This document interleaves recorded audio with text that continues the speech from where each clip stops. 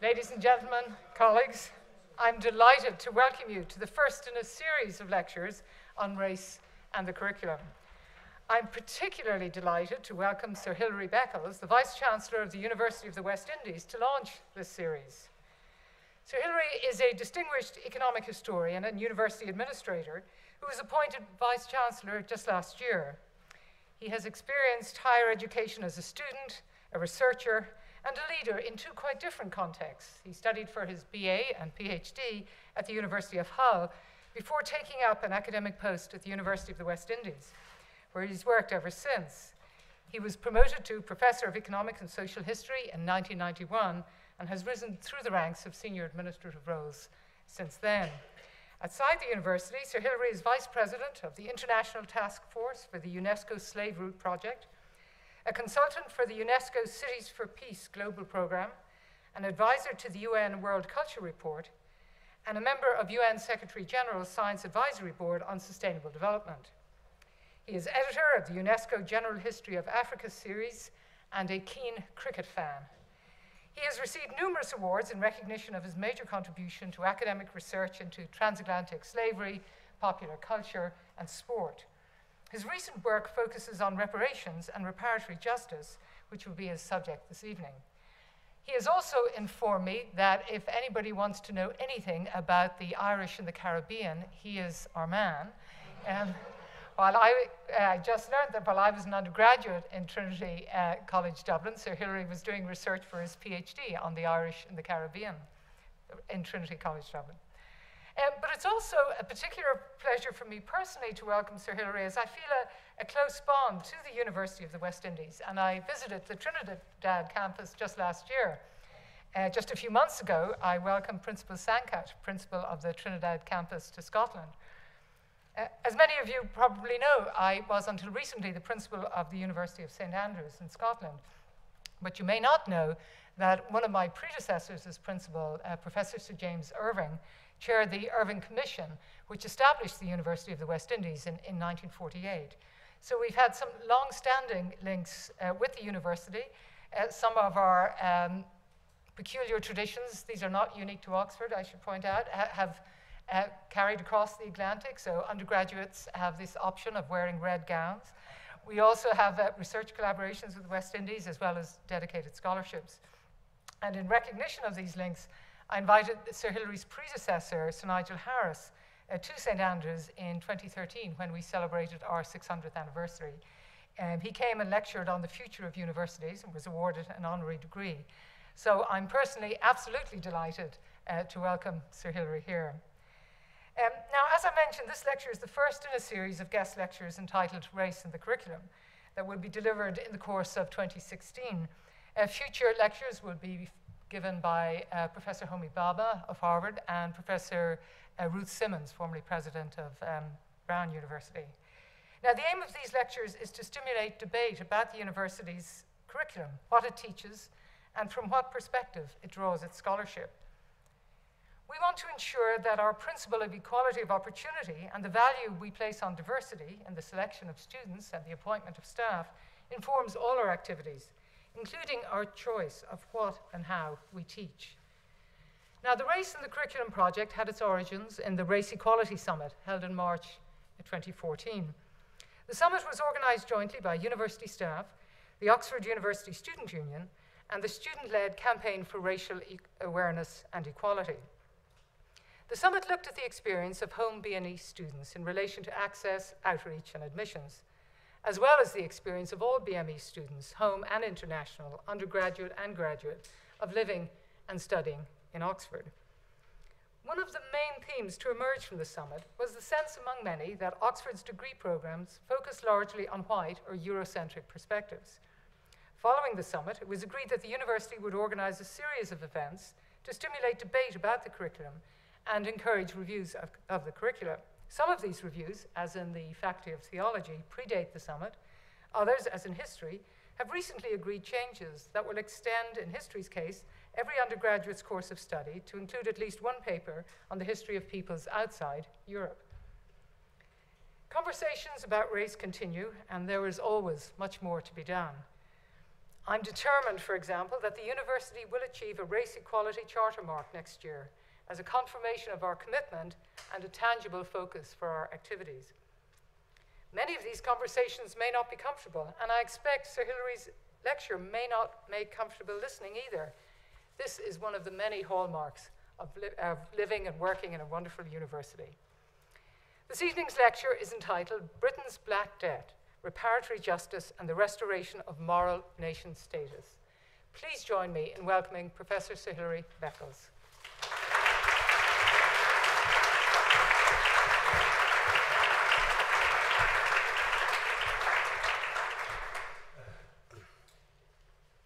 Thank you, Vice Chancellor, uh, colleagues and friends, uh, my old friend, uh, Professor Jim Walvin, who's here somewhere, I saw him earlier, and uh, John Vickers, thank you for that wonderful uh, dinner last night. Uh, great introduction. Vice Chancellor, I wish you all the best in your tenure. We are both on this journey together. Um, you, you've broken history and you are revolutionary in that regard. my own university, UWI, is are following you closely. Um, we've not had a female vice chancellor, though I'm told that with a name like Hillary, that I that the, the, conversation has opened. So, so we're, we're, pointing at least in the right direction. Uh, but I, I, wish you all the very best in, in, your journey here in this distinguished university that has done so very well for the world. Uh, many of our Caribbean graduates uh, have come from here and have really impacted our own university. Uh, my, one of my predecessors, uh, the late, great Rex Nettleford, uh, one of your Rhodes Scholars and brilliant intellectual, and so many others going way back. And, and each, each year, we celebrate some of our brightest young students who gain Rhodes scholarships and come here to study. And we keep a close track of them, very proud of their, of their achievements indeed. Uh, this conversation, Vice Chancellor, need not be uncomfortable. It's, it's a question of how one frames uh, one sense of history and the philosophical assumptions which we all share about the role of scholarship and effectively the role of universities as institutions for enlightenment. And, and this is my perspective. I am essentially uh, a student of, of philosophy. Um, I am a, a, product of the West Indian migration to, to Britain in the 50s. My parents came here uh, in the 50s. The entire Beckles tribe moved uh, from Barbados. My father and three of his brothers, who incidentally married three sisters, but all, all came here, and I, I, I, joined them at the age of 13, and, and therefore uh, I'm a product of the high school system in Birmingham and uh, thus the university system. So, in that sense, I am, you are responsible for what I have become. And, and whatever I am, take, take your share of that, of that responsibility.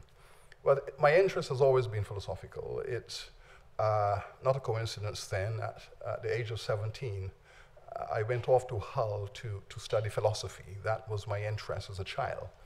Uh, uh halfway through the first term of that program, I, I realized it, it lacked historical content. Uh, and as you recall, uh, the, the Civil War in Nigeria, the aftermath of the Vietnam War, the anti-apartheid movement, all of these issues were around the time of my, of my teenage life. And, uh, and of course, I realized I needed a program that could help me to understand all of this. Uh, and this is why I, I changed my major from philosophy to economic history, which became the subject that looked at the global world in its economic development. And that is where I found, I think I found my niche. And and journey through um, economic history. So this conversation uh, this evening is uh, a part of all of that. Um, yes, I, I, did choose to do my doctorate uh, on the, the, Irish and the Caribbean, and the reason was quite simple. Uh, my supervisor, the late John Saville, um, editor of the Socialist Register and uh, great collaborator of, of Ralph Miliband and Eric Hobsbawm and so on, had written this incredible book on rural to urban migration in 17th, 18th century Britain. And he thought it would be appropriate that I should follow those workers who were leaving the villages of, of Britain uh, and going into the cities, uh, many of them port cities, but 20% of them would migrate onto the Caribbean. And my task was to track these workers through to the Caribbean and see how they participated in the construction of the slave societies of Jamaica, Barbados, and the Leeward Islands. So uh, through that process, yes, I did become a historian of the, of the Irish in the Caribbean. And it was strange because I was the black guy with the female name working on white history. So uh, these were some interesting anomalies, but uh, all of that worked, I think, uh, for the better. So this conversation, um, uh, Britain's Black Debt, is, is the subject of the book I published two years ago, uh, which really uh, emerged out of the global conversations about reparatory justice and what we ought to make of the, the legacies of slavery that are still evident everywhere in the Caribbean uh, what we describe as the colonial mess, which is still the subject of most of our efforts. In fact, uh, all we do in the Caribbean really is to clean up this mess. And that's what we do. Our governments do nothing else. Education, public health, bad housing, the ghettoization of the working class. All of these are the residual elements of the colonial process. So most of our public expenditure uh, is in fact about cleaning up what we call the colonial mess. And uh, this, this legacy, I, I think and I fear, is really overwhelming the majority of our governments. It's, it is really a tremendous legacy to turn around. If you consider, if you consider, for example, that Jamaica, uh, when it became independent in, in 62, uh, the, Britain had, the British had taken Jamaica from the Spanish in 1655. And after 200 years, Jamaica became independent. But at independence, 85% uh, of Jamaicans were functionally illiterate. And the question, therefore, is how do you transform a colony into a nation with 80% illiteracy? Uh, we know of no economic model, uh, no, no body of economic thought that could allow for that rubble to be transformed into a viable nation. But the Jamaicans have to be congratulated because they have made a tremendous effort to carve a nation out of that confusion. And they have done very well and ought to be, ought to be congratulated. Uh, the same could be said for most of the Caribbean societies. And it is indeed this legacy uh, that we are treating with as public educators, uh, corporate leaders, and, and so on. It connects all of this into an interesting conversation. I hope I'm pressing the right button as I move along. And, and so the conversation is framed in this context um, that the perception of slavery uh, as a crime against humanity and the, the residual discourses about justice in the context of that history and a long tradition of what we call Christian morality and advocacy. Because the, the, the, political movements of the Caribbean, most of them emerged out of trade union issues, evangelical churches, and there is in the region a very strong evangelical moral tradition within the politics and in social relationships. Caribbean folks have had to confront this history every day, and there are conversations about uh, the need to move on, atonement, forgiveness, and, and, these conversations coexist alongside conversations about how to uh, repair uh, this, this damage. And of course, it is well understood uh, in all of the Caribbean societies that in the end, this is a conversation about politics and, and about power. But it is also about how we as individuals construct our identities. And one of the features of slavery is that it denies you access to your own ancestry. 80% uh, of 80% of black people in the Caribbean know absolutely nothing about their ancestry beyond their great grandparents. They have no idea who they are. There are no records. It was important. Uh, they were property. Uh, property has no ancestry. They, they exist in the records, in inventories, and deeds uh, that speak to property transfer, taxes, alienation of, of mortgages, and so on. But the individuality of history, people's names, uh, are not a part of that record. It's very, very difficult to to construct who you are beyond your great grandparents. And this is where, for example, the question is asked. My favorite actor of recent times, I'm a great Peter O'Toole fan. But I've transferred my loyalty to Benedict Cumberbatch. and uh, magnificent. And, and, the question is, is he my cousin? Uh, which is uh, the important question to be asked, because here we are, um, the Cleland Plantation in St. Andrew's Parish in Barbados, where I was born. And, and my, my great grandmother uh, spent her, her life on the Cumberbatch plantation, uh, worked on that plantation, the Cleland estate, from the age of nine to 90. She lived on this estate. And, and her name was Adriana Cumberbatch. And Adriana, my, my great granny, who helped to raise me, because the traditions are always the same your parents emigrate and leave the kids behind. And so my parents came to Great Britain. All the kids were just left with granny and great grand. But great grand, uh, Adriana Cumberbatch, lived her entire life and worked on the Cleland plantation uh, owned uh, by the Cumberbatches. Uh, but the question is, how do I know? Is he my cousin or is he not? How did my great grand get the name Cumberbatch? Uh, where did that come from? What's the connection? Is it a genetic situation, or was it simply that at emancipation, uh, the, the, the, African population were told uh, that to achieve anything, they needed to become baptized in a Christian church. So, if you wanted to buy a piece of land, if you wanted to put your kids in a, in a church school, you had to be baptized. And, and being baptized meant you have to acquire a surname.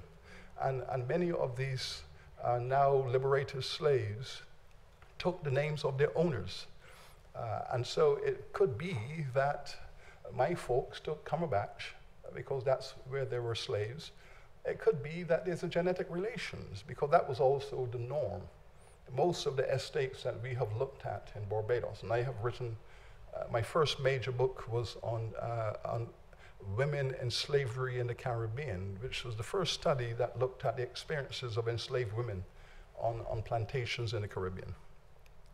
And the remarkable thing about that history is that when you go through the, the inventories and the documents of the estates, what you will find is that in almost every instance when a colored child is born, when a colored child is born on the estate, what they call a mixed race child, the young enslaved girl was just 13, 14, 15 years old. So what I did in the, in the early part of my studies was to assemble this entire history of black women giving birth to colored children uh, in their early teens. And the owners of the, the, the, the, fathers of those children were the owners of the estates and their sons. So um, it's highly probable, possible, therefore, that somewhere there is some Cumberbatch blood knocking around through the vein, but we do not know that is what slavery does. Uh, but it would be wonderful to have a conversation that an academic and an actor should be spawned from the same plantation. Uh, that, that is itself is exciting. Uh, this is the estate which I know so well. I used to take my great granny's lunch into the, into the, the sugar fields uh, for her when I was on vacation. And this place, the Cumberbatch's place in Barbados, is a place I know very, very well from my, my childhood. Uh, on the other side, the, the, paternal, the paternal side, um, the, the, the, Earls of Harewood. This estate, the, the, the Bell Sugar Plantation in Barbados, which was bought by the Earls of Harewood in 1782, with, 300, with 282 enslaved Africans on it. This estate remains in the, the family, the Harewood family, until 1975. So that 10 years after Barbados is an independent island, the plantation and the estates are still owned by the, Lord, the Lords of Harewood.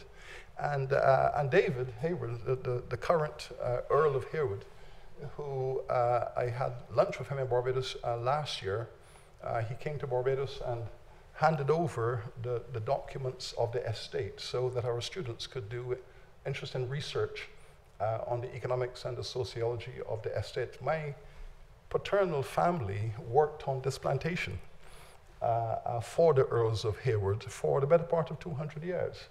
Uh, this estate, this great house, is now, as you can see, an abandoned relic because there is a perception that no one wants to touch it.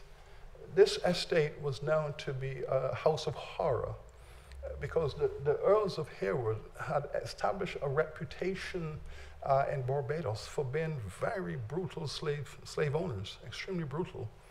and the perception of this haunted house. And you may recall from the history that the first Earl of Harewood, who bought this estate, had committed suicide uh, uh, in his mansion in Harewood Castle. Uh, I think they found him uh, in his bathtub with his, his, his wrists uh, slit and his throat cut. The question was always, how did he do all of that? But the, the, the, the, the rumor at the time was that he had taken the Barbados slaves uh, to Leeds to help to construct his castle, and that he was known to be such a cruel slave owner that they, they placed a voodoo charm on him. So that was the language that somehow this man was driven into insanity by, by the African ritual, which has transferred from Barbados to Yorkshire. But all of that is a history, and now this place is, is there still in Barbados. And each time I, I drive past this property, I think of my ancestors and, uh, and the history that, that holds Barbados and Yorkshire and England uh, together. What was remarkable about this is that when, when David came to Barbados, Lord Harewood, I should say, uh, he, he made the most shocking admission to me. He said, You know, this is the first time I've been to Barbados. Now, I found that shocking because uh, the family had been there and had made this extraordinary fortune, arguably the largest fortune ever made from slavery in Barbados, had built the castle. And he had inherited all of this, and he was in his 40s and had never been to the source of his wealth. I found that extraordinary. So I could only assume that the reason he has never been to Barbados was because he chose not to. And that, I suspect, is the uncomfortable nature of the history Vice Chancellor which you speak. But we, not, we need not be uncomfortable because this is interesting, interesting uh, history. So I, I, come to the, the source, the, the, beginning of my conversation uh, about emancipation and the end of the slavery regime. And in the conversation, what you find is that one of the most vocal voices in that emancipation discourse of the 1820s was the second Earl of Harewood. And the second Earl, the second Earl was absolutely adamant that slavery should not be abolished. Uh, he felt it was, it was Britain's responsibility to maintain slavery. He felt it was good. He said emancipation would destroy the colonies, it would render their property uh, obsolete. And he stood in opposition uh, for 10 years against the abolitionist movement. He was one of the strongest voices uh, in the British Parliament standing against Buxton, who was demanding, uh, in his intellectual brilliance, that the emancipation should be associated with compensation for the enslaved peoples. And I thought Buxton uh, argued that point quite well in his and his formulation of what an Emancipation Act should look like. Uh, the Earl of Harewood, on the other hand, became the champion of the view uh, that it's the slave owners uh, who ought to be compensated. And uh, after 10 years of who should be compensated, I think the Earl won that conversation in Parliament. And, and Buxton lost, he lost the debate. And uh, in losing that debate, he made some very strong statements, using very strong language. Uh, but it was e eventually a discourse between uh, two types of consciousness. Uh, one form of consciousness that spoke about power and wealth and what it ought to do with the world. Uh, another view that spoke about justice, uh, humanity, and enlightenment. And it was really a polarization of those assumptions that framed the Emancipation Act the, the act itself has been described, and I, I share that view, as, as arguably the most racist piece of legislation ever passed by the British Parliament. Now, on the one hand, there is uh, the, the discourse about emancipation as a, a triumph for British liberalism, uh, and that argument has stood the test of time and I understand that it is still the general belief that it is so. But if you examine this legislation carefully and you, you, you read the speeches of Buxton and how he went about arguing for emancipation, you can see why. The act itself had to recognize that the 800,000 Africans were property and not human beings the, British courts had fudged this issue for 200 years. There was always doubt as to whether the slaves or the enslaved people were really property, non human chattel. It, it, was understood that that was the function in the colonies. But there was doubt as to whether British law had actually positively recognized that the enslaved people were not human at all, but just chattels. But in order to compensate the slave owners, the parliament had to take a prior step for the, the treasury to cough up the money to pay the slave owners. The act had to first of all recognize that yes, these enslaved Africans are indeed property, they are not human beings, and we are taking away the property of our citizens, and therefore we have to pay property compensation. And it, it is within this act that we see for the first time an explicit articulation that the enslaved Africans were not human beings at all, but no more than property. Even though we had read the judgment of Lord Mansfield in the Zong case, uh, when he had said no, that uh, the Africans are like so many heads of cattle and, and therefore uh, property and no more. But the government of Britain now decides yes, there are indeed property, and we are taking away the property of citizens and we have to pay property compensation. But importantly, what the act did was to force the enslaved people to pay for their own emancipation. Now, this is where the, the, economics of emancipation runs afoul of the rhetoric about emancipation as enlightenment. The, the British government did decide to pay uh, the 20 million compensation to the slave owners. But that was after uh, the government had completed its audits uh, to, to conclude that the 800,000 enslaved Africans were valued at 47 million pounds. Uh, this was a value that was placed uh, on them, and the government decided they would pay only 20 million. The question was left who would pay the remaining 27 million uh, because you had to pay full compensation. The, the Act of Emancipation made reference to full, full and just compensation. And so the government decided to craft an Emancipation Act that would allow for 20 million to be handed over from the public treasury to the slave owners, and the 27 million the enslaved would have to pay themselves. And the act was designed very skillfully to create a process called the apprenticeship, where the, the now freed slaves would work for free for another decade. That was a masterstroke. And the language which was used was interesting. That period was called the apprenticeship. And in the rhetoric of the House of Assembly, they spoke about the transition in which the former slave owners would adjust to the former slaves and transition from a slave economy to a wage economy. And this apprenticeship was the transition to allow for the movement from a slave economy to a wage economy. In fact, what they had crafted, and the records document this, it was a mechanism to allow for $27 million of free labor to be transferred to the slave owners to extract the remaining 27 million. And so, in the end, the, the, the, the, enslaved people paid more for their freedom than the British government had paid to give effect to it. And that, that in itself is very, very significant. But you do, not, you do not see references to that point in the rhetoric of Parliament. The Parliament is the documentation speaks to the glorious act, the enlightenment uh, of the parliament, the vision for the future. Uh, but most historians ought to know that if you, if you really want to understand processes such as emancipations, you do not confine yourself to the rhetoric of the minutes of the House of Commons. You go to the minutes of the committees, because it is in the committees that the work is done.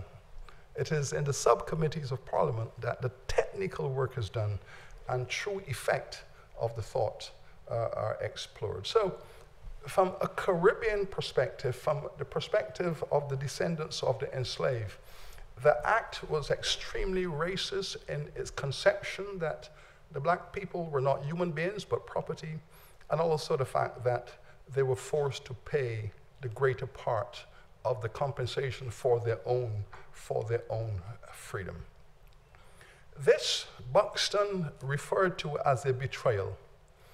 Buxton was very clear as uh, an enlightened intellectual politician that this Emancipation Act was a betrayal of the African peoples. And that's the language he used. That was a construct which he used. So it's not for me to invent that construct. It is there in the language that this is what had happened. And the, the British, importantly, had structured their Emancipation Act around what had happened with Haiti and the French uh, um, five to six years earlier.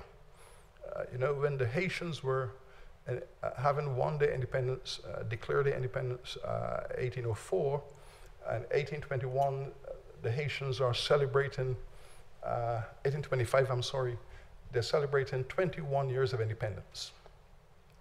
And Port-au-Prince is a, a celebratory place. If there are parties going on, uh, 21 years of freedom of independence. But while they were having their celebrations, there were warships in the harbors. And the French position was we, we're not going to recognize your independence until you pay compensation. Uh, and uh, the British enforced that view, as did all the other European powers, that if Haiti wants to be recognized, it has to pay property compensation to the enslavers. And uh, the, the, Haitian cabinet uh, went into retreat to, to make that decision. The young nation had been isolated for 21 years, uh, and they decided to reinsert themselves into the world economy and to pay the compensation. Thus, the 1826, the 1826 treaty, in which uh, the Haitian government agreed to pay France the 150 million gold francs, representing the, the economic value of the, of the enslaved Haitian population. And it, it was interesting that many of the members of the cabinet were former slaves, so they had to pay their own, they had to agree to pay their own compensation on their own value. And uh, the, the, British Emancipation Act uh, picks up on the French agreement where uh, slave owners were paid compensation. Some interesting cartoons. This is one of my favorite cartoons uh, where the, the, enslaved population in the Caribbean uh, celebrating the emancipation. But then you have the, the businessmen, the aristocrats, the merchants, the, the clergy, all of these people are John Bull uh, lining up to receive their compensation. And, and thus the polarization of the discourse uh, about freedom and compensation. Where, where is the cash, John Bull asks. And here you can see uh, basically some indications of, of the value uh, placed on the enslaved populations of the Caribbean and the amount to which the British, which the government agreed to pay. Uh, you can see, you can see here the Caribbean values in the British compensation. The argument was that the slave owners had inflated the value of their slaves. Uh, the role of the British government was to bring the values down and to pay that compensation, and we can see there. Um, this is an interesting image. I had a seminar with students on the Mona campus in Jamaica uh, who wanted me to speak about this. Uh, who, who, who are we? The, the students asked, who, who are we? And I said, okay, well, well, you are the descendants of the 1.2 million Africans who the British brought into Jamaica. Uh, so the, the, British brought 1.2 million Africans into Jamaica, but at emancipation there were only 300,000 remaining. Question is, how do you bring 1.2 million Africans onto an island, and after 200 years you, you have only 300,000? It raises the question about slavery uh, not only as a system of legal control and political management, but also the, the, genocidal aspect of slavery. Is only 25% of the enslaved population survived. Uh, in Barbados, the, the, figures are about the same. Uh, 600,000 600,000 Africans taken by the British to Barbados. And at the end of the slavery, there were only 83,000 remaining. So the horrendous survival rates. And so these young people in Jamaica, they are the descendants of this 25% survival. These are the survivors of a Holocaust uh, that had decimated the African population across the West Indies. And we all know that if there is one abiding feature of slavery in the Caribbean, it was the fact that unlike most places where slavery existed in the hemisphere, in the Caribbean, the enslaved population did not reproduce itself. In the US South, they reproduced themselves, the population grew. Uh, in Brazil, they expanded, they grew. In the Caribbean, it reversed itself.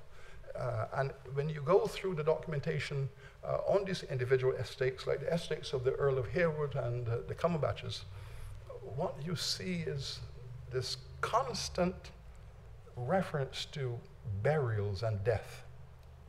On each estate, every day, three, four, five adults and children are being buried, a constant daily burial of, of people on these estates, uh, reflecting this horrendous mortality that characterized slavery uh, in the Caribbean. And this is the great house which I showed you at the beginning, the Belle Estate, which was a ruin. This is what it looked like in 1966. As you can see, it's a beautiful building. It's hard to imagine that the structure I showed you earlier. And if you need me to go back to it again, imagine this is now the great house. This is 1966. This is our queen and her cousin, the Earl of Harewood. But if you go back and look at it, uh, that is what it looks like now. Uh, but here we are. This is what it looked like then when Her Majesty uh, came out to Barbados uh, to celebrate with her cousin, the Earl of Harewood, uh, on the sugar estate. Uh, the remarkable thing about the photograph is that the photograph speaks to the, the merger of, of royalty and slavocracy. Um, I think it was 1922. 1922 was when uh, the Earl of Harewood married Princess Mary and married into the royal family. The families had coexisted side by side. Of course, we know that the, the British royal family had started the slave trade in an organized context. Uh, the, the, Royal African Company of 1672, which was established by the Duke of York as the chairman, who later became King James II. Uh, the Duke of York was the chairman, and they built this joint stock company uh, to bring 2,000 uh, Africans from the Gold Coast per year to Barbados and the Leeward Islands. So the, the slave trading companies were, were constructed first in an organized way by the royal family, but now the, the, the royalty and the aristocracy, or the slavocracy as we call it, uh, have now converged with the, the marriage of the Harewoods uh, into, into the Windsors. And so uh, our queen comes out to Barbados to visit her cousin on his sugar plantation, which was bought, as I said, by the family uh, in 1782. And you can see the house is still in order, the servants, the servants are there in the background, and this is a contemporary image. This is uh, a few months after Barbados had become an independent nation. And so uh, one can actually write a major monograph on this photograph. This photograph is, is, is filled with, with history of, as to how two distinguished families converged on a sugar plantation uh, uh, of, of slavery. And, um, and uh, this is the photograph I used uh, on the cover of my book uh, because, in, in a sense, the monograph is really to explain why this photograph how could this photograph be taken? What is the history behind this photograph? So you roll back 200 years and you bring it forward uh, to, this, to this extraordinary uh, moment. And then it comes right in where our Prime Minister, uh, David Cameron, uh, whose family had received considerable slave compensation in the Emancipation Act. Uh, there were major slave owners, the Earl of Fife, major slave owners in Jamaica, uh, as well. And then you see how all of this compensation for slavery is, interwoven into our, into our reality. Uh, there is, uh, there is uh, Prime Minister and his family, the compensation uh, which they receive uh, in 1838. the Royal African Company, and this is the crest of the Royal African Company that was stationed on, the, on the Gold Coast with Barbados uh, again, uh, the first Earl who uh, established this incredible monument uh, to enslavement with over a thousand enslaved uh, people in Jamaica, 500 in Barbados, and that's the Belle Estate there. not bad for a poor white family who came out from Britain in the 1640s. A hundred years later, they are the wealthiest commoner, common family in Britain. It, it speaks of the economics of this process. Uh, they are the estates of the earls in Jamaica, most of central Jamaica. You can see the estates. There are the estates owned by the earls of Harewood in Barbados. Uh, tremendous, tremendous control of land and space and property. Uh, not a bad house to build out of slavery. It's, uh, as the students would say in Jamaica, it's a nice crib. Um, but it, it's, it's, it's what is expressed out of this extraordinary history of slavery. And there we go, the, the, the marriage of royalty and slavery, uh, the sixth Earl and, and Princess Mary in 1922. Uh, the question then is, how do we look at all this history? Uh, what is really reparatory justice? And, and how does one engage all of this? I spoke earlier about engage in what we call the colonial mess that has resulted from this interest in history. Uh, the conversation has focused, um, I think, has been derailed. I think, I think the British media, the British media has not been fair, uh, I think, in how they look at this conversation. I think they have been a little unfair in the sense that the, the perception that uh, reparatory justice is about black folks in the Caribbean standing around on street corners expecting handouts.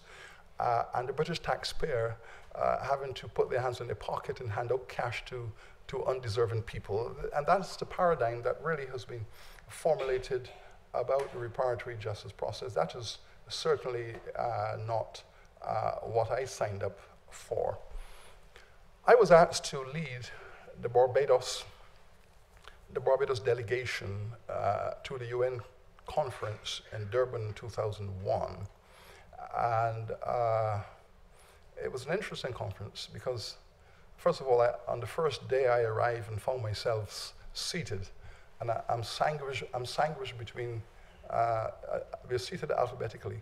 I'm, I'm sanguish between Arafat and Castro. Uh, and it, and, um, and I, I, have to formulate my thoughts while I'm, you know. but, but basically, we were having a conversation uh, with the British delegation about how to engage this history and, and what we ought to make of it. And uh, I was chosen by the, the, heads of governments to, to be the spokesman uh, because I am an academic, I am a historian. Uh, they understand my own philosophical orientation and they believe that we need to craft something positive and developmental out of this. Uh, it's not about recrimination, it's about how to take the past and turn it on its head and do something remarkable in the future. That's really what it's about. But in those conversations, there was a tremendous pushback from the British delegation. Uh, the British delegation said, listen, uh, slavery was no crime. Uh, these are the arguments which were put to us at Durban ironically, uh, the British delegation was led by Baroness Amos, uh, and, um, th- and that was interesting. Um, and her position was uh, the Tony Blair government, slavery was no crime, we had legalized it. So it was legal and therefore no crime. Well, yes, and our response was okay, okay, fine, but uh, our, my recollection of German history is that uh, Hitler had also used the Chancellor and other people to legalize the Holocaust. Uh, and, and, that they had said, yes, well, the Holocaust, to march people through gas chambers and, and destroy human life, uh, had its legal infrastructure surrounded it. So uh, let's not go there. Uh, that racism is passe, uh, there's no racism, this is a post racial world, and that black folks have to stop whining and think of the future. Which was interesting because this is what Prime Minister Cameron told the Jamaican Parliament. Let's get, let's get over it. Okay. So the position then was um, no apology, no regret. Uh, go get a culture uh, that the persistence of poverty in the Caribbean has to do with the fact that black folks are lacking the developmental culture, and therefore, without that culture, they won't develop, and they're poor because they have no culture of development. Um, you have no wealth because you have corruption, and so on. So, all of these kind of arguments were placed uh, to justify a position. Uh, we had asked um, Lord Gifford to, to work with us on this. Uh, he, of course, had uh, written into the records of the House of Lords a, very strong argument that there has to be reparatory justice, that Britain should heal this wound, and, and that going into the 21st century, uh, Britain is on the cusp of doing something magnificent, and, and all of us should find a way to encourage uh, the British state and citizens uh, to deal with this history, come to terms with it, and, and establish what I call its moral legitimacy in the 21st century. It's difficult to, it's difficult to ignore all of this and to run roughshod over it while at the same time having a reputation for enlightenment. So uh, our position is that let us, let us sit and look at this. Um, uh, it is particularly important for Great Britain, I believe, because while the Portuguese had shipped more Africans across the Atlantic than the British, the, the economics of this case shows that the British had made more money out of it uh, because the British were better at it. Uh, they had better financial systems, uh, they had better administrations of finance, they had good banks, they had a system of brokers and agents, and they understood the economics and financing of international trade much better. So, yes, so as historians, we know that uh, the British slave traders were are indeed able to extract a greater revenue out of this business than their European competitors, and that they took, they took the lion share uh, of this. And we see this is just some of the structures of uh, built directly. I'm always impressed by, by William Beckford, who, who built his own church, uh, uh, who said, I want to have my own church because when I'm speaking with my God, I don't wish to be interrupted. Uh, and there, there you go. So uh, there's a whole history of enrichment, which is there. Um, uh, the Church of England uh, doing very well. These uh, some of the leading slave owners, all the aristocracies, and so on, and the banks. Uh, these are some of the financial institutions that were born out of slave trading and slavery. Uh, these companies, these merchant houses, and financial institutions were re-engineered, rebranded, and refashioned into what you see now. And uh, you see all of these contemporary banks on the high street, but these are the antecedent structures out of which these banks emerge, and, and so on. The Americans are much better at this than the British, I should say. Uh, the, the, Americans have done the right thing. Uh, they have looked at all of their major commercial institutions, and all of them that were based on slavery extracted wealth out of slave labor, uh, took slaves as collateral for mortgages and so on. All of the American banks have engaged their communities and have established a method to deal with it. They have established scholarships. Many of them have made donations to community projects. So uh, one, one, can imagine then the question has to be why is it that the British institutions have not done what the American institutions have done? Every day, American institutions are emerging with their records. Some of them discover their records accidentally that they didn't know that 150 years ago that they were taking slaves as collateral in mortgages. And they have done the right thing one by one. So they have, in a sense, shown the way on how to treat with this history. Uh, on the websites of many of the British banks, they make reference to this. They make reference to it on the websites, but they don't go any further. There's no conversation about, well, is there a moral obligation which we need to discharge in relation to this history? And I, I believe that we ought to encourage these institutions uh, to take hold of this past uh, in a different kind of way. Uh, the Church of England has uh, made their formal apologies, which is very commendable of the, of the bishops, the archbishop. uh, for the fact that there were some of the largest slave owners in the Caribbean. And um, the Codrington Estate say here, uh, you know, this is the, the, Bishop of Exeter who received more compensation uh, for his enslaved peoples than any other slave owner in Great Britain. But again, the Codrington Estates in Barbados are still there uh, in need. And uh, yesterday, uh, uh, John Vickers and myself had a wonderful conversation about the Codrington history.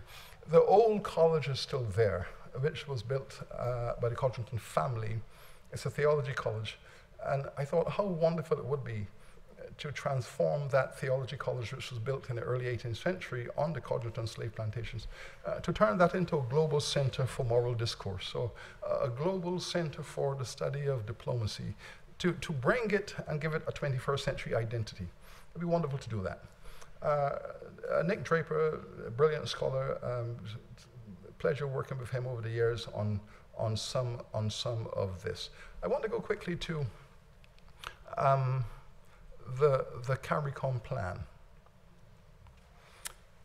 I was asked by uh, CARICOM to establish a task force, a commission, to look at ways in which we could frame a reparatory justice conversation uh, with, with Great Britain and, and to link the legacy of slavery with a development agenda uh, in which both sides of the conversation can go into the future with a sense of, of mutual dignity. And uh, we looked at it and we said, okay. Uh, first of all, reparatory justice is about development. It's about helping to confront uh, this legacy. The reaction has been in some places um, that uh, these islands are now independent. You are now responsible for yourselves. Your future's in your own hands. Uh, we are over and finished. Okay, so that is fine. Um, uh, Dudley Thompson, who is distinguished Jamaican Pan Africanist, uh, said to me uh, once in, in Kenya, uh, he said, Listen, this is the, the metaphor you ought to use. This is how to look at it. Imagine uh, you're the wife of a tyrant, and your husband has been brutalizing you through the length, the decades of this marriage and you have suffered all the emotional and physical abuse. Each time you, you stand up and express your desire for recognition and dignity, you get a slap. And this is what you have to go through. So imagine that's uh, the process. Then um, you finally find the courage to, to pick up your children and leave the tyrant. And you go away and you celebrate the fact that you are now independent of this tyrant and you're celebrating your freedom. Uh, that's fine. But in the process, what you have done, you have consigned your children to poverty because you have walked away with your triumph, but the property that you had helped him to accumulate, the property the two of you have accumulated, you have walked away from it and you are now left uh, without a resource. Uh, you are now in poverty, and your children are consigned to poverty. So rather than jump for celebration of your freedom, you should have seen a lawyer uh, to get your just share of the collectively accumulated resources. So the tyrant husband then says to you when you come to make your claim, by the way, I'm, I'm now remarried. I have moved on. I, I have now joined the European Union, and uh, and, and I it's I have I have a new wife, and I've moved on. Um, sorry, it's a it's a closed chapter. There's nothing to discuss. Uh, get on with it. What reparatory justice says these are the children who are now dispossessed, disenfranchised. We are the children. So we have now said, hold on, Dad, hold on a second uh, you gave our mother a raw deal. You gave us a raw deal. We want to talk about our education, our health. We want you to come back and participate in our upbringing. And that's what we're asking you to do. We're not asking for handouts. We're asking for a moral conversation, a legal conversation about justice. You have to make an investment in our education and our health and come back to the table. That, in a nutshell, is what the reparatory justice process is about. It's about dealing with these issues, the health issues. Um, we have this chronic disease explosion in the Caribbean. 60% of all the black people in the Caribbean over the age of 60 have type 2 diabetes hypertension. Not surprising. Slavery is over, but we are now in the jet stream of it. Imagine then you put, as in the case of Barbados, the first slave society, you import 600,000 people, you put them on an island, for 200 years, you give them salt fish and salt pork every day, uh, you brutalize them 24 hours of labor per day, you sell their children, you rape their wives, and you carry out this horrendous experiment of how to make money out of human degradation. And fine, at the end of that, what do you expect? The people are stressed out. They cannot metabolize sugar and salt because that's what they had. When I was a child uh, growing up on the plantations of the Cumberbatches, uh, in the midst of your hunger and your, your poverty, the children would go into the kitchen and take a handful of sugar and eat it. And that was the norm for all working class children. You would just take a handful of sugar and consume it to survive through the next couple of hours. So now we have a serious problem because the philosophy was eat what you grow. Okay, we grew sugar and we ate it. Now we have a diabetes explosion on the island. Barbados is now known for two things beautiful tourism product, the amputation capital of the world. Every day in Barbados, someone loses a limb. We are now the amputation capital of the world because of the rampant explosion of diabetes. So we have the illiteracy, we have the diabetes, we have all the, we have no institutions, there are no museums. There's some wonderful museums to slavery in Britain, some lovely archives. Not one museum to slavery in the Caribbean, not one difficult to say to a government that is struggling with fiscal deficits and currency devaluations to take five million pounds and build a museum to slavery when there are other major pressing issues, but no museums to look at this history. Uh, research, technology. Um, universities, of course, we know from the, the work we have done on hypertension um, that the hypertension drugs don't work as well on black folks, on West Indians as they do on British. And we've done comparative studies in Britain, in West Africa, and in the Caribbean. It's fascinating to know that if you are English and you take a hypertension drug, your body has a 95% response, which is wonderful. If you're black from the Caribbean, you have a 70% response. So most black folks in the Caribbean are in and out of different drugs because one, you become immune, it doesn't work. And, you know. But the remarkable thing is that the West Africans have the same response as the English. That's remarkable. So the drugs work on the West Africans exactly the same way they work on the British. But the black folks in the Caribbean have a suppressed reaction because of the genetic transformations and the changes that have gone through in our bodies, our metabolisms, our genetic changes, and so on because of slavery. And so we are doing work, biochemical work, to find a way to improve the responses of black Caribbean peoples to these drugs.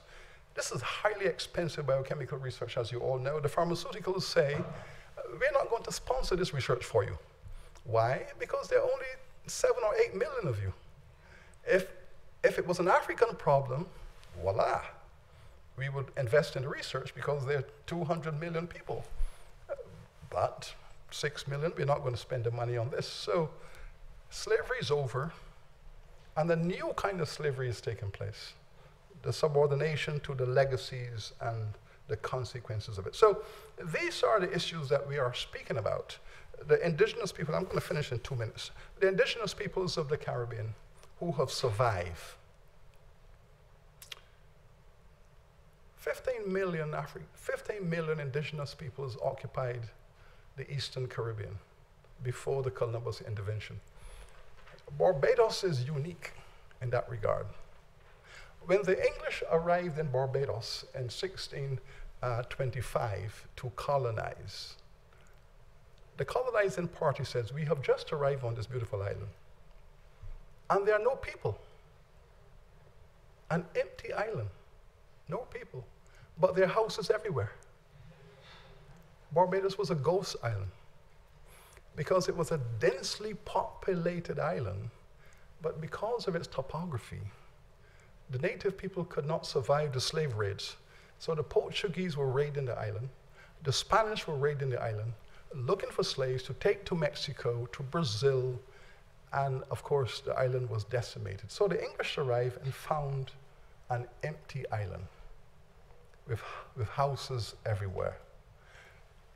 We have offered scholarships to the indigenous peoples. In my time as principal of the Barbados campus, we instituted an indigenous peoples scholarship. Every year, the Barbados campus offers 10 full scholarships to indigenous children.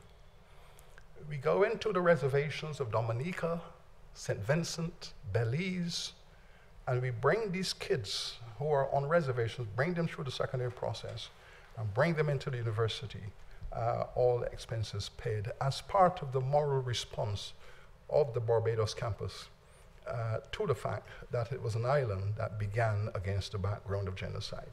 These are things we can do and should do.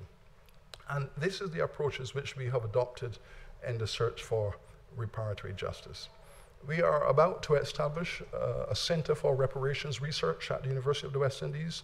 Uh, we are engaged with reparations movements across the world. A, a, fair amount of mentoring is done by the Jewish Reparations Commissions. We, uh, we spend a fair amount of time speaking to our Jewish colleagues uh, about the process of pursuing uh, justice and focusing on education. So these are some of the issues here, of technology transfer. And I know that here in this extraordinary, uh, beautiful university, this is Lord Gifford uh, speaking to uh, the Minister of Culture in Jamaica, who is second from the left, Minister Hanna, uh, about how Jamaica can frame its conversation with the British government. I know that in this remarkable Oxford University, uh, you have um, a conversation taking place uh, about the Rhodes history and legacy, and of course, there's a Codrington issue. And I believe that with the collective intelligence and the will of this great university, that you will find a way to confront this past. Uh, it, it, cannot be brushed away, it cannot be set aside. The question is, how do you take this, this history?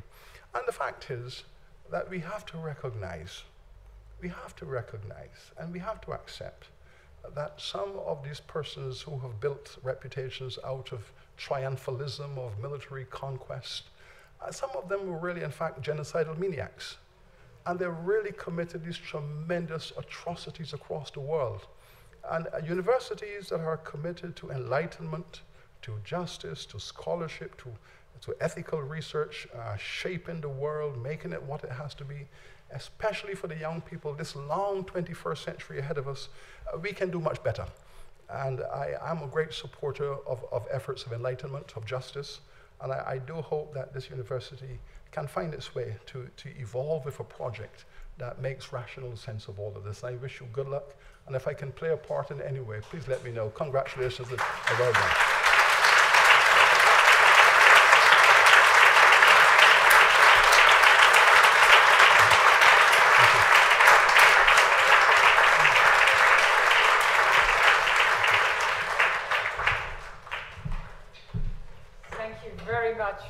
Chancellor, for thought-provoking, riveting, and indeed disturbing lecture. I know it has provoked many questions, I'm sure it has. Uh, but before I open the floor to questions, just like to say, you said at the very beginning that we, by which I trust you mean the British educational system is responsible for what you've become. I'm sure everybody in this room would share my view that I'm sure we're all very proud of what you've become. Um, in order to um, manage the question and answer session, I'd like to invite uh, um, one of our own lecturers who works closely in uh, Kingston, Jamaica, um, who is Dr. David Howard, who is University Lecturer in Sustainable Urban Development and Director of Research at the Department of Continuing Education, affiliate at, at Kellogg College. So,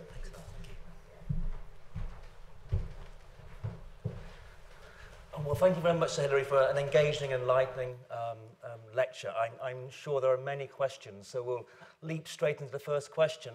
Um, there's a microphone going around, so uh, who would like to open our debate? Yes.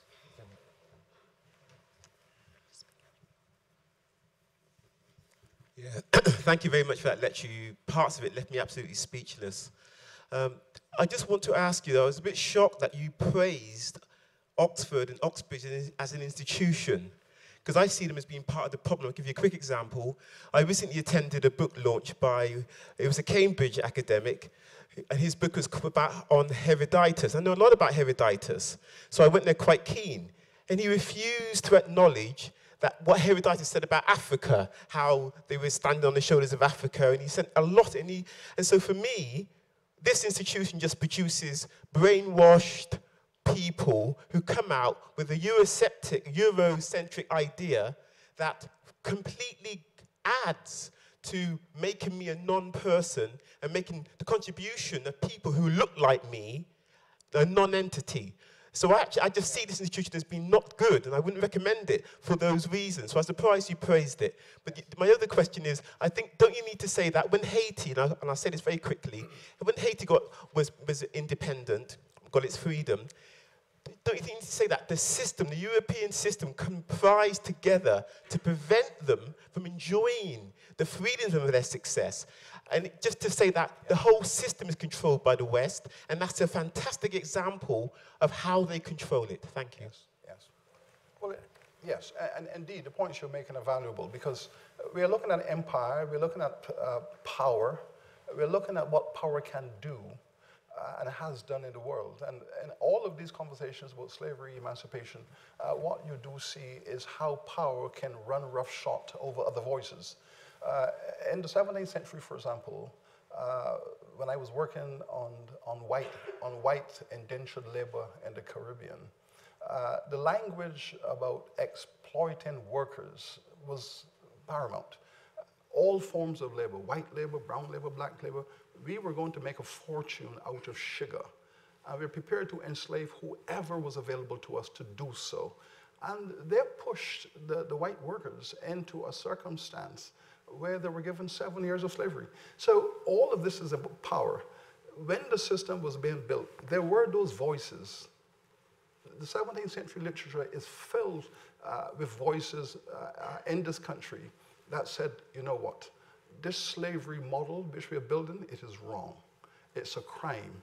It is illegal. It ought not to happen.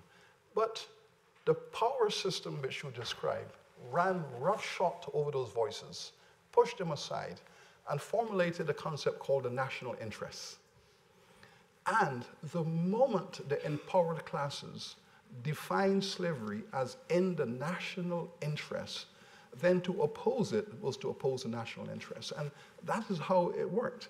Uh, the emancipation conversation, similarly, those persons like Buxton who stood in Parliament and said that there has to be justice for the enslaved people. There has to be justice for the African people. The groups of persons with the power ran roughshod over those voices. And that is how history has always been. I spoke of this university in its two dimensions. Yes, this university is a part of that imperial history. Without a doubt, it's a part of that legacy and tradition. But it has also produced some brilliant scholars, has produced some brilliant students, has done some remarkable research. All of that exists side by side. Our job as persons who are crafting the future has to identify ways in which to extract the good, uh, form solidarity with it, identify those sources that are about enlightenment, work with those sources, and create a better world, while at the same time acknowledging that there are people who have always worked in universities who really don't belong in universities. There, there is always that consciousness among some individuals who really, spiritually, do not really belong inside of a university. But that has always been a history in all institutions, including the church, in politics, everywhere. So we take it as we get it, we take it as it comes, and we try to shape the future. I think there's a question at the front. I'm just there. thank you very much. My heart is in lament and there's a lacrimosa going on, but I'm really grateful that you reminded us of some of the things that we needed to be reminded of, particularly around our history. And I think there are many of us who are going to go home and ponder and cry, but ponder and want to do some action. And it is to the actions that I want to address my question. Um, the Sustainable Development Goals were launched uh, in New York in September, and certainly in the jobs I do, and a lot of people working in education, we are encouraging schools to think about sustainable, sustainable development and the goals up to 2030. But the, uh, the argument about reparations is missing from that. And one of the things I'm asking is how can, what tools can you guide us to that would assist us so that when we're having that discussion about sustainability and the future of the planet and global development, that we can say this is central to that development. Well, Madam, what you have done is just to is just to focus on my primary agenda at this moment. Um, we are involved right now and uh, working through a partnership with the SUNY uh, group, uh, the largest university system uh, probably in the world, 64 campuses. And uh, we have met with the SUNY Board of Trustees, and we have formed an agreement that SUNY and UWI will partner in creating an Institute for Sustainable Development and Leadership. So we are about to sign those agreements uh, where the UWI will have uh, a major partnership role with SUNY. And the, the, two universities will come together to create this new institute. This institute will uh, focus on those sustainable goals. And so this institute will work on behalf of the CARICOM governments to become the capacity building agency and the delivery agency to allow the Caribbean to achieve those goals that they have signed up to. The leadership part is important. SUNY has said to us, and we have said to them, uh, the chairman of the SUNY group, uh, Mr. Carl McCall, who is uh, chairman of the board, I said to, I said to Carl, how, how did you feel as the chairman of the board of trustees of the largest university system in New York, and you sat back and watched your city collapsing into social chaos? People on the streets, police brutality, people on the street speaking about the civil rights, the human rights, the injustices. How do you feel as the, as the leader of this massive university structure and right before your eyes, your city is in social meltdown? And many of those people on the streets were Caribbean folks. So we had this conversation and we said, yes, as university leaders, we have a responsibility to do our best to, to empower citizens to to better understand their world and to have better lives. And so, out of that conversation uh, about what happened in New York, uh, then the UN uh, Sustainable Goals, uh, two universities came together and said, let us do something about it. And now we've had several meetings, and now we're going to establish this jointly owned institute to produce the next generation of young leaders. Uh, not leaders only in terms of political parties, but if you're living in Brooklyn, and you want to become the mayor, or you want to be a librarian, or you want to become an NGO person, you want to be a chief police commissioner, uh, the universities have to get together and produce a, a, a program on leadership for young people. Uh, what are the skills that young people will need to be effective leaders in the 21st century? Uh, so, so the SUNY UWI partnership is going to unfold very nicely to intervene precisely on the sustainable goals and helping the young people of the Americas to understand leadership responsibilities quite differently. So yes, it is, it is an example of what universities can do by coming together to chart a new direction. Thank you. There's a question at the back, and then there'll be one there. Uh, just at the back, and then um, there's a lady in the red coat, and then there. Oh, thank you very much, uh, Professor Beckles. Um, Timar from Jamaica past student of UWI. Congratulations, well done. yes, um, so the, the counter argument a lot of uh, people use when they, they, they, they, talk about reparation, right, is that the UK and the other European states are, are doing a lot in terms of aid to the Caribbean and other places, right? Um, for example, the UK announced uh, 300 million pounds in aid to the Caribbean, right? Of which I know uh, they recently donated 25 million pounds uh, to construct a prison, right? Um, I would like to, to get your view on uh, whether or not, how you see this, uh, this aid that uh, the UK is giving, for example, and uh, yeah, kind of how, how do you see it? Do you, do you see it actually achieving the goals that you actually want to achieve um, on your mission um, to, to, to, gain reparation? Well, the, the, whole, the whole concept of aid uh, uh, emerges from a very different philosophical position. Uh, and that is not what we are speaking about. We are not speaking about aid uh, that ultimately is seen as a kind of philanthropy. That's not what we're, what we're speaking about. We're speaking about development cooperation uh, and reparative justice, which is altogether a very different concept. Uh, you, you give aid, and the aid comes attached with all the strings. Uh, and the, the, strings attached to the aid are developmental of the giver.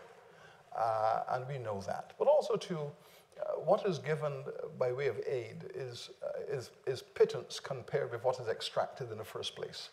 So there's an imbalance in that whole conversation.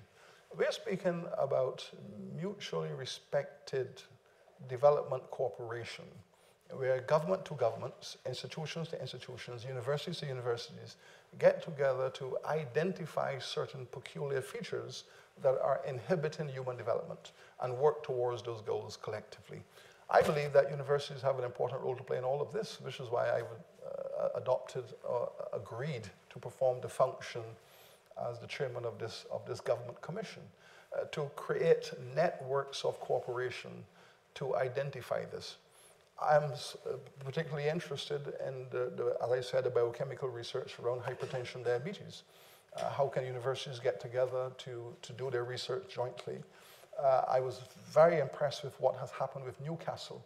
Uh, the University of Newcastle and the Barbados campus of UWI got together five years ago to work on diabetes research jointly.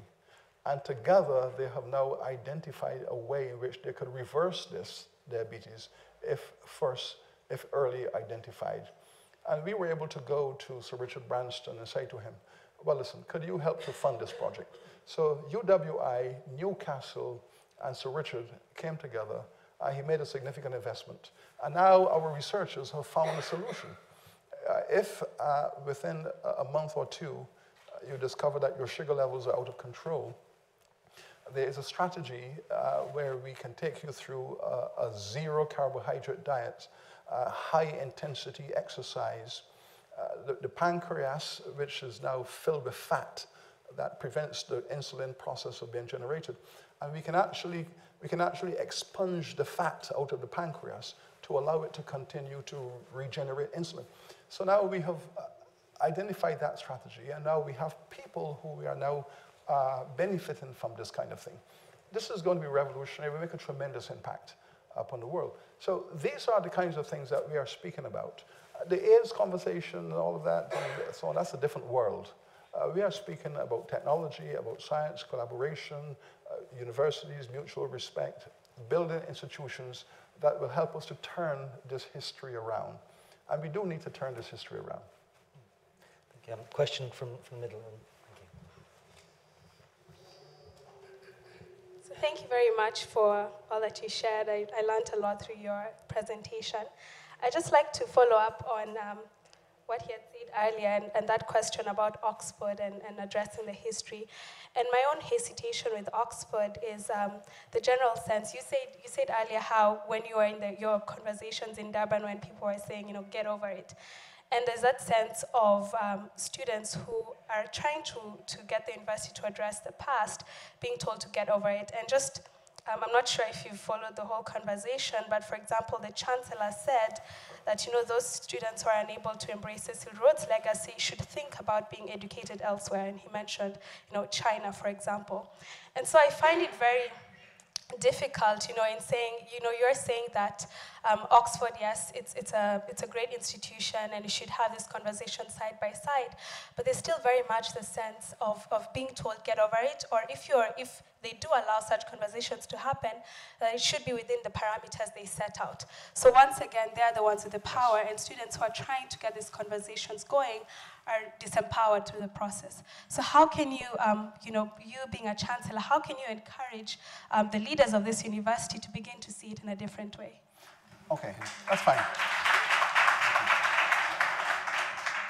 Well, allow me to say that I am here uh, this evening with you because of my own uh, engagement with student radicalism. Uh, as an undergraduate at Hull, uh, I was engaged in student politics. I was on a guild. And we discovered back then in the early 70s uh, that our university was one of the major investors in, in South African apartheid. Uh, our university had a tremendous amount of its resources uh, invested in the apartheid regime. As a student, I felt that this was wrong. And I made a number of speeches on the campus. Uh, I made a representation to the chancellor.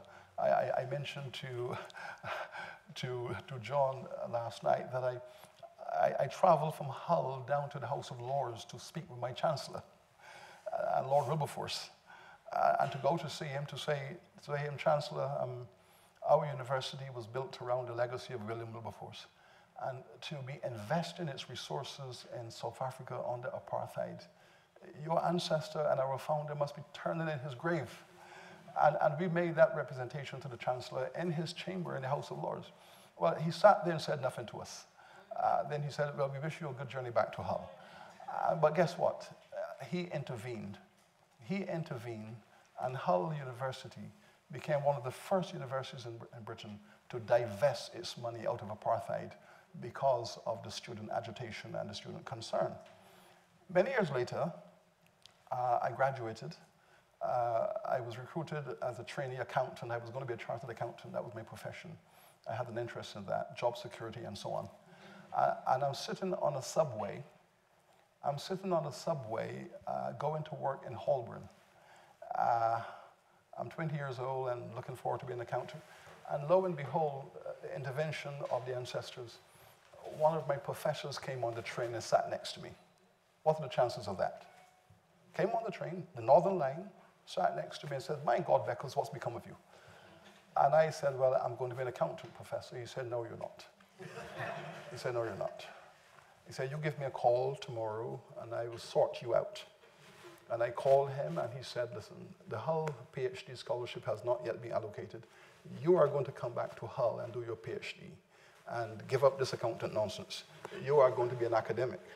So, yes, because of his intervention, the great legendary uh, John Saville, great, great historian, and, and that's what he did.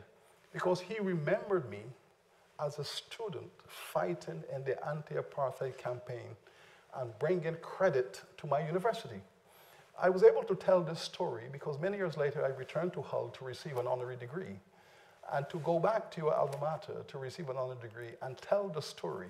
And guess what? In their files, in their archives, they had records of my speeches, uh, of my, of my student speeches, calling for my university to rise up and fulfill its enlightenment and, and to resist the dark forces of the world. So I was able to, to address the, the, the graduating class within the context of my own history. So I would say to you that yes, you, you must stand up for what you believe is right. If young people cannot do that, if you cannot stand for what you believe is right about the world, then the world will not go forward. So if you believe that some changes must be made in your university, you stand up and demand those changes uh, engage your vice chancellor, engage your chancellor, engage your leaders, and speak about it. I'm sure that your vice chancellor will wish to hear your views. Have that conversation. It is in the interest of the institution. This is how the world goes forward. Uh, I myself, as vice chancellor, am also faced with challenges about the ethical nature of my institution. The question is, we have young people trapped in ghettos in Kingston, in Port of Spain, in Bridgetown. Is the University of the West Indies paying sufficient attention to the poverty around it? Are we going into the ghettos and making sure that bright young children have a chance? We're doing our best, but we're not doing enough. So when the students come to me and they say, well, listen, Vice Chancellor, we have to do more. Of course, I agree with them. And we find strategies. So you have an opportunity to, to have a historically transforming relationship with your Vice Chancellor and your university. And guess what? History is being made. You have your first female vice chancellor, right? And she'll, she'll make this place a better place for you. And then all of us, 50 years from now, when we're all alive, uh, we can look back and say, you know, as I look back on my own alma mater and said, you know, Hull is now, a, I'm very proud of my university because we stood up and changed it a little bit. It's a better place as a result. Thank you. Um, Question here, and then I think we want to have a chance for you all to have a chance to uh, talk informally with Sir Hilary. So um, we'll take one more question at the back after that, and then there's the drinks reception, if that's okay. Thank you. Thank you. Um, I was very interested to um, hear what you said about identity and how um, um, the legacy of slavery affects identity. So I wanted to ask a question about um, how, your, how reparation would affect um, the identity of black Britons, because there is a population of, of um, Britons who are born and bred in Britain and are black. Yes. But um, there is a, a, sort of a tension between being black and British because the general uh, sort of uh, perception of somebody who's British is white. So I wonder because you talk a lot, you talked about um, reparation in terms of the West Indies, yes. and you also drew a distinction between the legacy of slavery and how it affects um, um, Caribbean, black Caribbean people, and possibly how it affects black African people. Yes. But I wonder if you can comment on how reparation would affect black British people. Okay. Well, I'm very conscious of the many identities I have. I was born in Barbados, uh, uh, in the Caribbean. I, I, grew to maturity in this country. I was educated uh, in this country. My, my, my, family lives here. My parents lived in this country 50 years. I have uh, three siblings who were born here. I, there is a, a, very large Beckles tribe here. Uh, when last I checked, when last I checked, there were uh, 62 of us scattered across the cities of Great Britain. And guess what? I also did a survey. Um, my family came here, uh, parents and seven children. Uh, all seven of us are university graduates. Uh, all seven of us um, came through the British system. Uh, all of my nephews and nieces who are adults are university graduates. I counted 46. The Beckles tribe is probably the most degreed black family in Britain. Uh, I have no doubt it is the most degreed family in Britain. I have a 14 year old nephew uh, who just did 16, what do you call them, o, levels, the new version? What?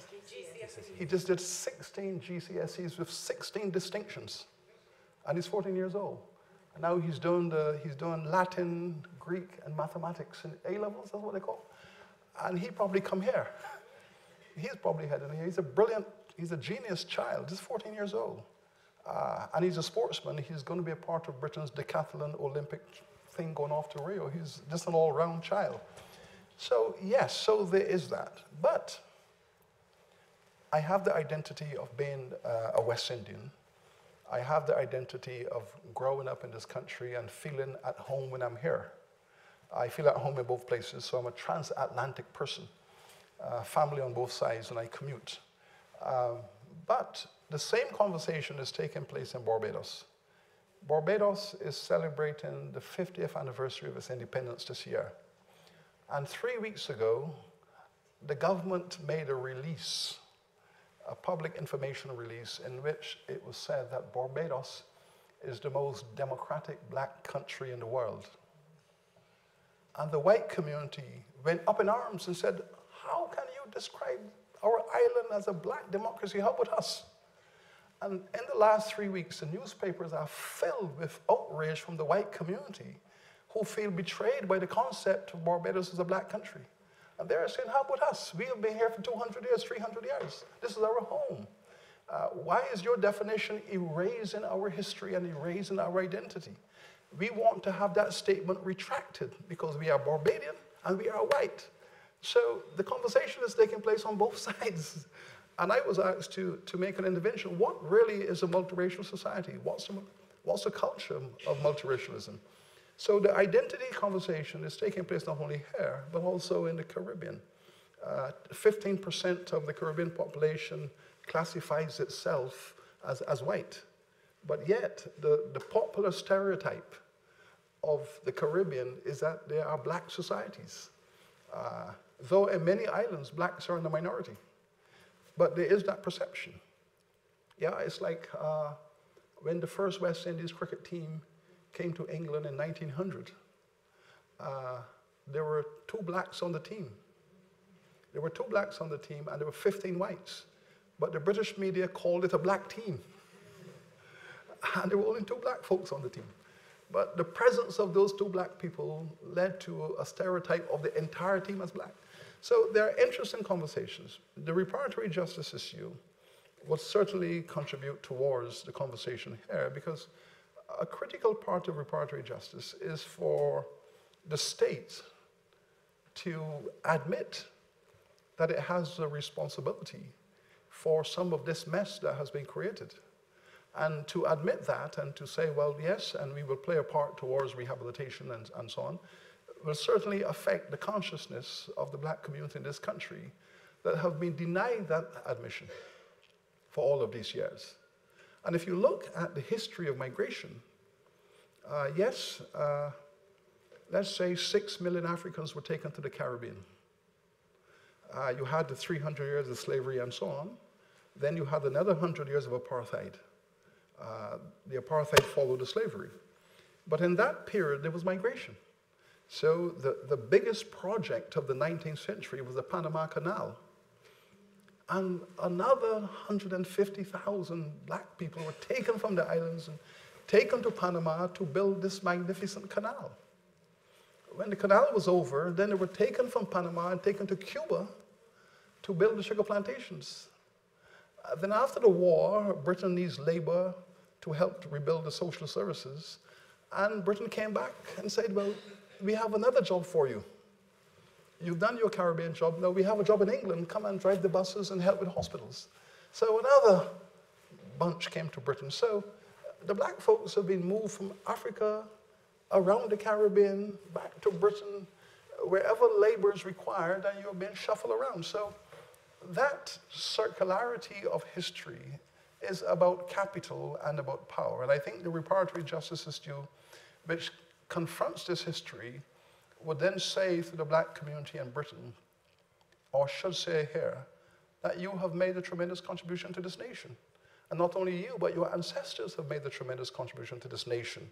And, and you have a right to live in this country with respect and dignity. And that is your right as a citizen. And this is the message I give my young siblings who are born here and who are British.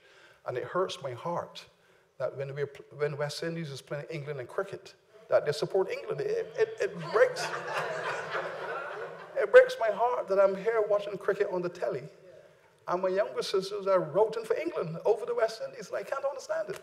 But this is their country, and they love their country, and they deserve the respect to be British. Okay, we really want to make sure we have time to, uh, to um, mingle informally with Sir Hilary, so we have time for one final pithy um, question, if that's okay. It's in two parts, and I'll make it quick. Okay. Thank you very much for the lecture that you've shared tonight. The first part of the question is when I did Black Studies years ago, they talked about a seven year turnover where people would go to the, be taken to the Caribbean as enslaved people, work for seven years, drop dead, and literally whole islands being replaced. I was wondering if you had any statistics which back that up. And the second part of my question is I'm nothing to do with university. What can I do to try and help reparations to, to come to pass in my lifetime? And also, is your book here? Can we buy it? Well, if the, the, the social history research on, on the Caribbean, there's a tremendous amount of demographic research uh, on Caribbean slave uh, plantations uh, that speak to this horrendous demographic uh, experience. Uh, we have case studies of individual estates, we have studies of individual islands. There's an abundance of literature uh, on slave mortality, morbidity, and so on. So it ought not be difficult for you to find the relevant information you need that explains why, as I said in the case of Jamaica, uh, you brought 1.3 million onto the island, and then you ended up with, with just about 300,000 uh, Barbados, 600,000, uh, you end up with this 83,000. Uh, that information is well set out in the demography and the social history of the region. Um, uh, and it speaks to uh, the fact that on average, yes, um, uh, though it was changing over time, that if, if, you got, if you got 10 years out of your enslaved person, you've done well. Uh, one of the papers I wrote many years ago, uh, entitled um, To Buy or to Breed, uh, is a paper that deals precisely with this subject. Uh, every slave owner uh, was faced with that choice. Do I take my existing group of slaves and, and literally treat them better, cut their workload, improve their nutrition, uh, expose the women to prenatal, postnatal care, uh, allow the infant mortality to be suppressed? Do I put in place a package to do this, or do I just burn them up and replace them? Uh, the, the, slave owners all made a very specific managerial calculation on which method uh, was cheaper and more productive. So that by the end of the 18th century, on the whole, prior to, prior to around 1770, most slave owners in the Caribbean believed it was cheaper to, to buy than to breed, and therefore they, they took very little care of the enslaved population. Uh, the pregnant and lactating women were treated no differently from the males, and you had that horrendous demographic experience of massive infant mortality, the vast majority of women dying in childbirth, and so on. So that history sets up what we call the graveyard theory, what we call the graveyard theory, where the islands became cemeteries, really. By the 1770s, the price of African slaves on the world market is skyrocketing. Uh, you could buy, when the slavery model started in the 1630s, 1640s, you could buy an enslaved African in Bridgetown uh, uh, for 20, 22 pounds. The, the, Royal African Company uh, had a remit uh, in, the, in the 1670s to sell Africans in the Caribbean at 16 pounds each. Uh, occasionally there was a male-female differential uh, and so on. 16, 18 pounds was in the charter of the Royal African Company. Move forward 100 years to the 1770s, you're now paying 100 pounds, 120 pounds uh, for a male female. So you see the, inf the inflation in slave prices from the 1640s to the 1740s, 1780s. So by the end of the 18th century, most slave owners were absolutely clear that it was now cheaper to breed your own slaves than to buy from the African market. Uh, and uh, thus, there is a tremendous literature uh, that emerged. Uh, the Earl of Harewood, the, the first Earl of Harewood wrote a treaty called Instruction to Managers on the Treatment of Their Slaves.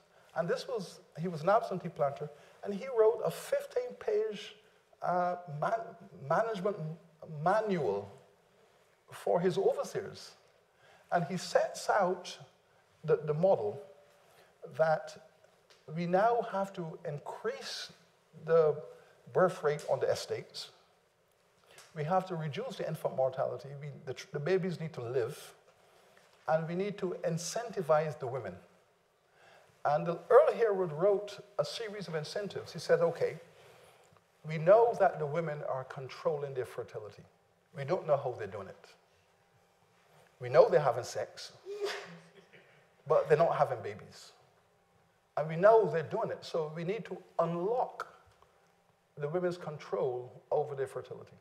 So he sets out, he says, my instruction to my managers of my estates in Jamaica, Barbados, is that for the first child that lives past three months, you give the mother five shillings.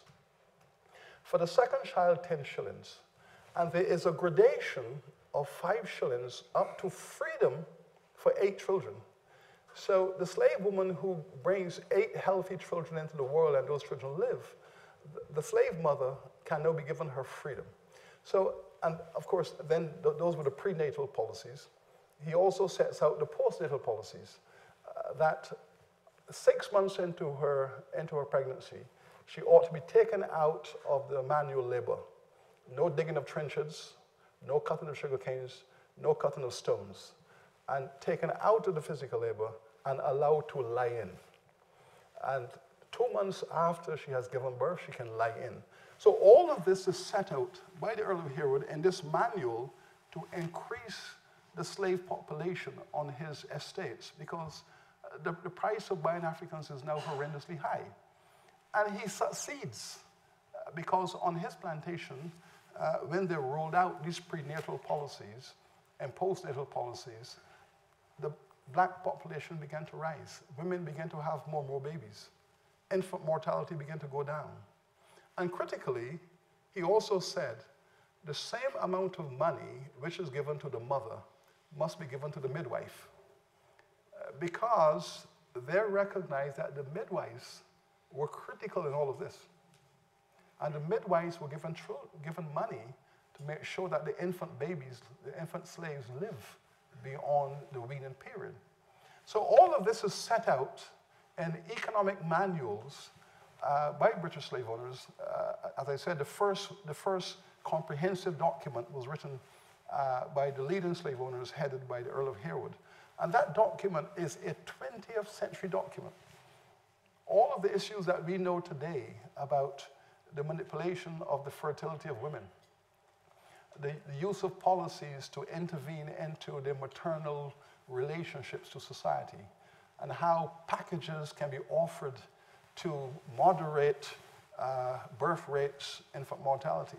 The slave owners had mastered this craft in the 18th century, and they wrote it down for your consideration. So it's all there for you to go and study, uh, to look at this. Uh, these were modern capitalists who understood the art of profiteering.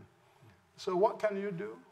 Uh, the issue is you internalize your history, you, you make a commitment to your society and your institution, and you ask yourself the question, what kind of citizen do I wish to be?